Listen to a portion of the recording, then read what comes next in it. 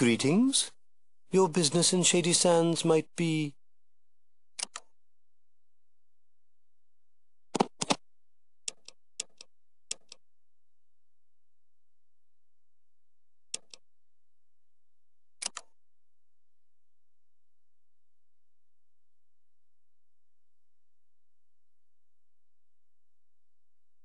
Wanderer, I shall believe you, for now.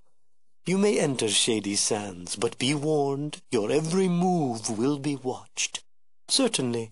What do you wish? Junktown lies south of here, though there is little in the way of visitation. From stories I'm certain there are cities south of that. Certainly.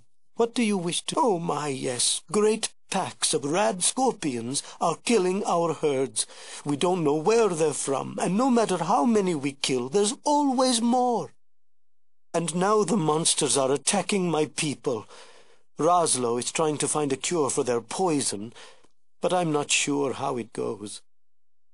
Mm, yes, yes, yes, yes, yes. Please, talk to Razlo. He possesses far more information.